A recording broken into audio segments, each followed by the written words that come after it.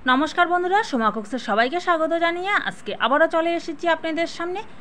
এখানে আমি বিন আর গাজর ছোট ছোট টুকরো করে কেটে নিয়েছি। এই যে একদম ছোট ছোট টুকরো করে নিয়েছি বিন আর গাজরটাকে। আর এই পাশে আমি নিয়ে নিয়েছি দু কাপ ময়দা। দু কাপ ময়দার সাথে আমি এখন এক কাপ গমের আটা যেটা, লাল গমের আটাটা, সেটা আমি মিলিয়ে নেব এখানে। তবে আমি আটা আর ময়দা মিক্সড করে আমি এই ধরনের জিনিসগুলো বানাই। তবে জিনিসটা খেতেও ভালো হয়।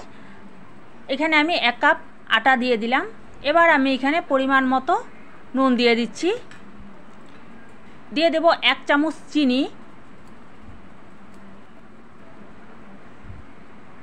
চিনিটা দিলাম স্বাদের ব্যালেন্সটা ঠিক রাখার জন্য। এই যে, এক চামচের থেকে একটু কম, এক চামচের থেকে একটু সামান্য একটু কম হবে। দিয়ে দিলাম আমি চিনি। এবার দিয়ে দিচ্ছি সাদা তেল।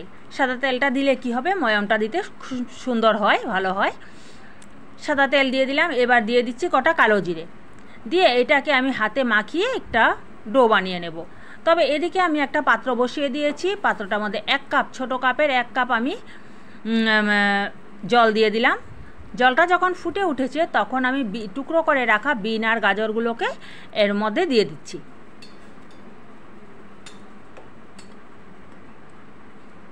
এই রেসিপিটা কিন্তু, এটা কিন্তু বাচ্চাদের খুব স্বাস্থ্যের জন্য খুব ভালো টিফিনেও আপনারা দিতে পারেন। এবার আমি এখানে বড় চামচের এক চামচ বাটার দিয়ে দিলাম। এবার বাটারটা দিয়ে সামান্য একটু নুন দিয়ে দিচ্ছি পরিমাণ মতো। যেটা লাগবে সেই পরিমাণ মতোই আমি নুনটা দিয়ে দিলাম। দিয়ে এটাকে আমি ঢাকা দিয়ে সেদ্ধ করে ওর যে জলটা দিয়েছিলাম, সেই জলটাকে আমি আবার শুকিয়ে ফেলব। আর এদিকে আমি এখন ময়দাটাকে মেখে নেব। এভাবে বাচ্চাদের টিফিনের জন্য বানিয়ে দিলে কিন্তু বাচ্চারা খুব ভালো সুন্দরভাবে খেয়ে নেবে। আর অথচ এত তেল মশলারও কোনো ব্যাপার না। এবার ময়দাটাকে আমি মাখাচ্ছি, হালকা গরম জল দিয়ে আমি এটাকে মাখিয়ে নেব। ময়দাটা আমার মাখানো হয়ে গেছে, দেখুন, বেশি একদম যাতে শক্তও না হয়ে যায়, বেশি নরমও না হয়ে যায়, এইভাবে এটাকে মাখতে হবে। এবার এটা থেকে আমি ছোট ছোট সাজে লেচি কেটে নেব। আর এই পাশে আমার এখন এটা প্রায় সেদ্ধ হয়ে এসেছে, এই যে সেদ্ধ প্রায় হয়ে এসেছে, জলটাও অনেকটা শুকিয়ে এসেছে, দেখুন জল আর নেই, অল্প আছে একদম। এই যেটুকু জল আছে সেটুকুর মধ্যেই আমি এখন একটা মাঝারি সাজের পেঁয়াজ ছোটো ছোটো করে কেটে রেখেছিলাম, মাঝারি সাজের পেঁয়াজটা দিয়ে দিলাম। আর বাচ্চাদের উদ্দেশ্য করে যেহেতু বানাচ্ছি, তার জন্য আমি ছোট একটা লঙ্কা কেটে নিয়েছি, এই লঙ্কাটা আমি এখানে দিয়ে দিয়েছি। দিয়ে এটাকে একটু সময় নাড়াচাড়া করে আমি এখন গ্যাসটা অফ করে রেখে দেব। জলটা প্রায় শুকিয়ে এসেছে আর জল নেই আমার, একটু আছে। এটাকে এখন আমি ঢাকা দিয়ে কিছুক্ষণ রেখে দিলে বাদ বাকি যে জলটা সেটাও শুকিয়ে যাবে।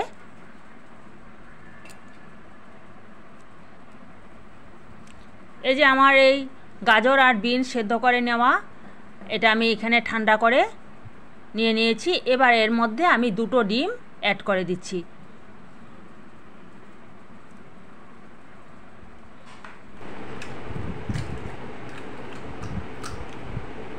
দিয়ে দিলাম আমি এখানে দুটো ডিম। এবার আমি এখানে দিয়ে দেব টেস্টের জন্য এক চামচ, ছোট চামচের এক চামচ চাট মশলা। এতে চাট মশলাটা দিলে কি হয়? সুন্দর একটা গন্ধ আসে। এক চামচ চাট মশলা দিয়ে দিয়েছি।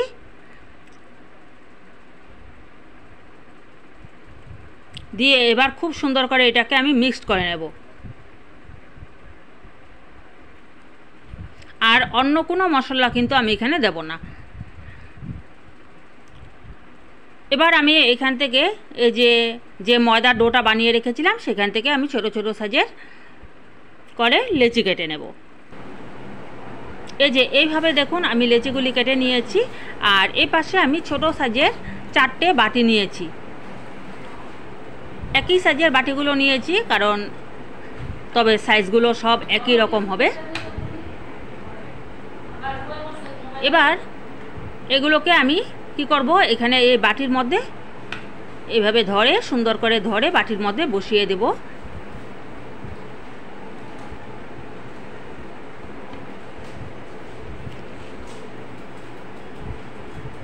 যেহেতু ডিম দিয়েছি, ডিমটা দেওয়ার জন্য হাতে নিয়ে এটা করা যাবে না। একটু বেরিয়ে আসতে পারে। এই জন্য বাটিটার মধ্যে নিয়ে করলে কি হয়? ডিমটা বারো হবে না? আর সাইজগুলো একই রকম থাকবে।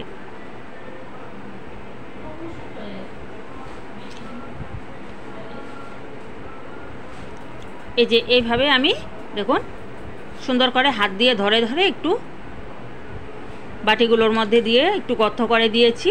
এই গথর যে জায়গাটা, সেই জায়গাটার মধ্যে আমি এই মিশ্রণটা দিয়ে দেব।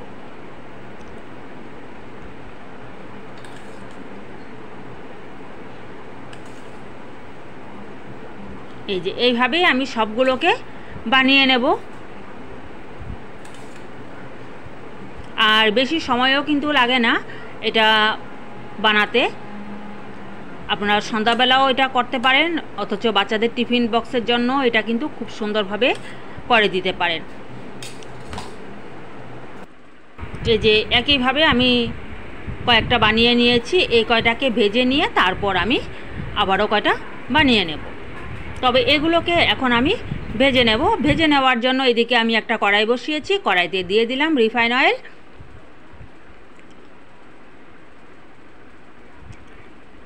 তেলটা যখন হালকা গরম হয়ে আসবে, তেলটা পুরো গরম যাতে না হয়ে যায়, তখন আমি এই যে বাটিটা একটা বাটি হাতে করে নিয়ে তার উপরটাকে বন্ধ করে একটু উপরটা, এই যে এইভাবে একটু উপরটা ঘুরিয়ে দিয়েছি যাতে বের হয়ে না যেতে পারে। আর তেলটা যাতে ফুল গরম না হয়ে যায়, ওইটা একটু নজর রাখবেন। হালকা গরম অবস্থায় এটা দিয়ে দিতে হবে। এবার গ্যাসের আঁচটা একদম লো আছে করে দিয়ে এগুলোকে আমি উল্টে পাল্টে সুন্দর করে ভেজে নেব।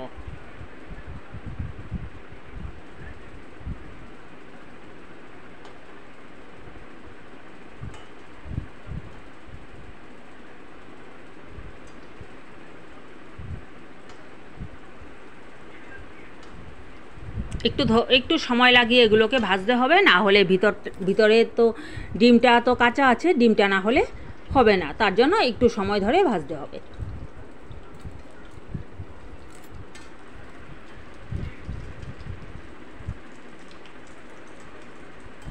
আর এটা খেতেও কিন্তু দারুণ লাগে। ভিতরে যেহেতু একটু চাট মশলা দেওয়া আছে, চাট মশলার গন্ধটা খুব সুন্দর একটা গন্ধ হয়। চাট মশলা, বাটারের টেস্টটা ভিতরে পাওয়া যাবে। তো এই যে, আগে যে দুটো দিয়েছিলাম, সেই দুটো হয়ে গেছে, এই দুটোকে আমি তুলে নিচ্ছি।